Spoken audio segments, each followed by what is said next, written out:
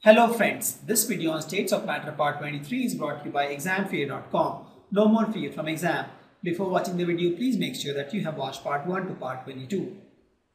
See the question says what will the pressure of a gaseous mixture when 0.5 liter of hydrogen at 0.8 bar pressure and 2 liter of oxygen at 0.7 bar pressure is introduced in a vessel 1 liter. So I have 1 liter vessel I am introducing let's suppose now 0.1 0.5 liter of hydrogen. Okay. So if you see there is a change in volume at 0.8 bar. If there is a change in volume there will be change in pressure. Similarly again I will introduce 2 liter of O2 at uh, 0.7 bar so since again point uh, 2 liter becomes 1 liter, the change in volume, so the change, change in pressure. So if I have to find the total pressure of this vessel once you add oxygen, hydrogen, the total pressure will be pressure of hydrogen plus pressure of oxygen. And this is a new pressure, right? Because the volume changed. Understand this. See, this was 0.5 liter, it became 1 liter. This was 2 liter, it became 1 liter. Uh, sorry, it was 2 liter, it became 1 liter. So in both the cases of hydrogen and oxygen, there was a change in volume, so the pressure changed. So the 0.8 and 0.7 is not the pressure we are looking for. We are looking for the change pressure. Correct. So we'll take the case of hydrogen now first. So P1 V1 is equal to P2 V2 because other things are same. My temperature is constant and so in the pressure of the hydrogen earlier was 0.8 bar. The volume was 0.5 liter. What is the new pressure? We have to find P of H2. What is the new volume? 1 liter. Right? 1 liter. So if we solve this, get P of hydrogen as nothing but 0.4 bar. Similarly for oxygen, the same formula P1 V1 is equal to P2 V2. Earlier the pressure was 0.7 bar. Volume was 2 liter. Now the new pressure is something you have to find and the new volume is 1 liter. Correct? 1 liter jar. 1 liter. There is 2 liter. This is 0.5 liter.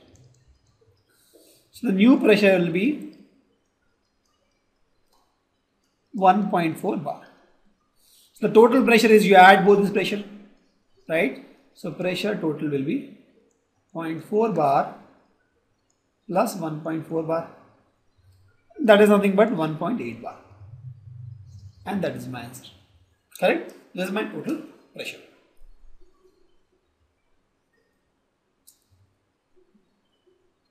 The next question says density of gas is found to be 5.46 gram per dm cube at 27 degrees Celsius at this bar pressure.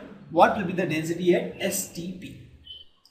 So the pretty straightforward question. We have the formula density is equal to MP by RT. Okay. So in this case, if you see M will be same is varying, T is varying, R is same. Correct? So if my density is this, I can say that D1 by D2 will be what? MP1 RT1 by MP2 RT2 and that is nothing but P1 T2 by P2 T1 correct just just the same formula so in that case if I write the formula of D2, D2 will be nothing but D1 into P1 T2, P2 T1. So here my case 1 is the case given and case 2 is my STP and case 1 is uh, my 27 degrees Celsius bar pressure. So let's put the value. My density 1 was what? 5.46 gram per dm cube. Pressure 1 was what? Pressure 1 is 20 uh, 2 bar.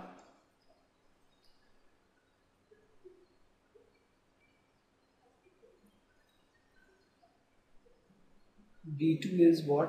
Let me see just check. D2 will be this will be p2 t1 by p1 t2 correct? So if you see i'm taking on d2 it will be d1 into p2 t1 p2 t1 so p2 is what? Standard temperature pressure 1 bar 1 atm actually. So i'll just consume it 1 I'll treat as 1 bar normal approximately equal to 1 atmospheric pressure just for the ease in calculation because this is given in bar. T1 is what?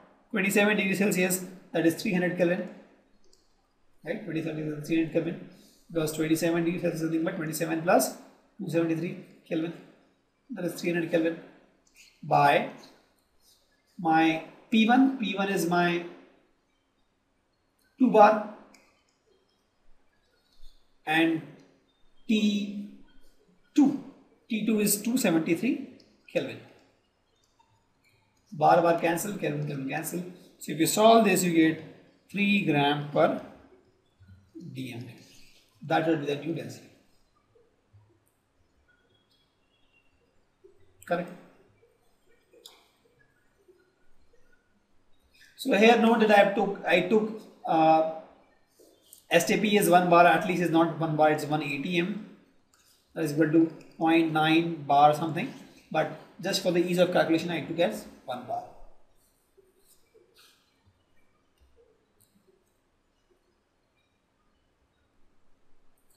So pretty easy question.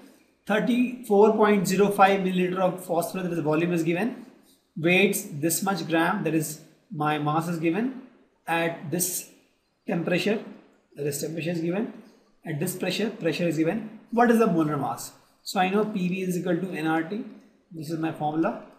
But since i am looking for mass and molar mass i'll just replace n with mass by molar mass into rt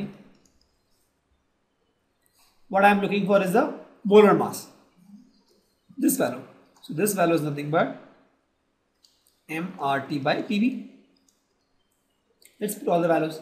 What is the value of m? 0.0625 gram. R. R will be 0.083 t 546 degrees celsius plus 273 add becomes 9819 kelvin p pressure here is a watt bar 0.1 bar. And uh, V V is in uh, where is V? V is in milliliter so make it liter. So this becomes 3.05 into 10 to the power minus 3 please note the value of point uh, R I took as 0.083 because of the units involved here. Correct? Because the pressure is in bar so I took 0.083 and this was in the gram.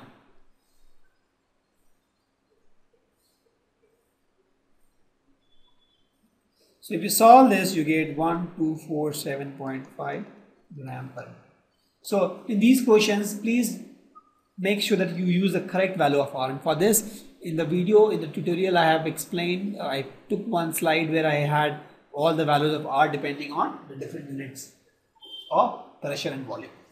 For this unit, because this pressure is in uh, bar and the volume was in uh, liter, I used this unit.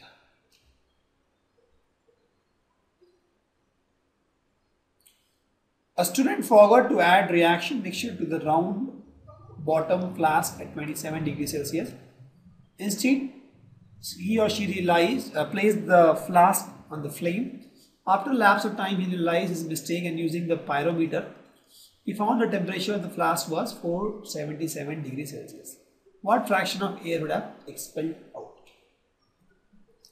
See, in a chemistry lab, so there was a vessel here, one guy was heating water in this, right? So at 27 degrees Celsius, he was supposed to add reactant mixture. But instead of 27 degrees Celsius, he forgot. And at 477 degrees Celsius, he found, uh, he realized mistake. He wanted to know at by that time how much water vapor has or how much water has expelled. That means how much water is converted to water vapor. We can find this, see, we have the, the, the number of moles of molecule is same, right? So that means if we can find the volume this water or water vapor should occupy at 27 degrees Celsius and we can find the volume that this water occupies at this uh, 477 degrees Celsius and we'll compare. First let's compare this 477 degrees Celsius will be what? At 270 degrees it will become 750 Kelvin and 27 degrees Celsius will become divided to 73 becomes 0 300 Kelvin. So since everything is constant, pressure is constant, only volume and temperature is varying. So we use the formula V1 T1 is equal to V2. Right? So V1 by T1 was my temperature earlier was 300 Kelvin and the new temperature is my 750 Kelvin. So if you solve this, you get V2 as 2.5 times of V1. That means the water expanded 2.5 times. Earlier it was, let's suppose V, it becomes 2.5 times of V. Correct? But my flask, so it is like this. This was my water molecule. It was V earlier. This became 2.5 times of V. I'll write over this. This is V and this is 1.5. But this much volume of vapor or whatever is already in the flask and this much volume went out. Me draw in this fashion. This was my V volume. It has some water. You heat this, this became 2.5 V.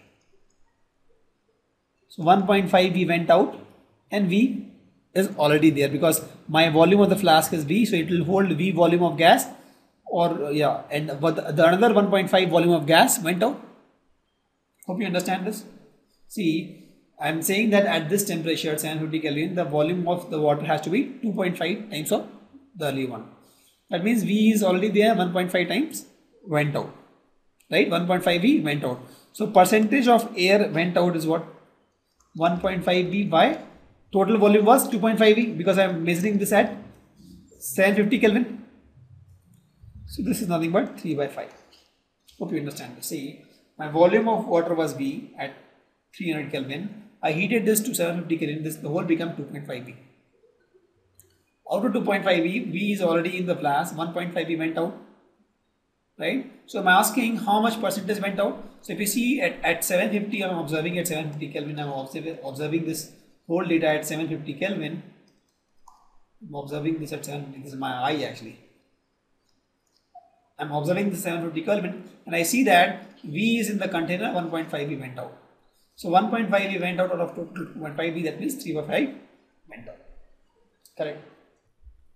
Thank you.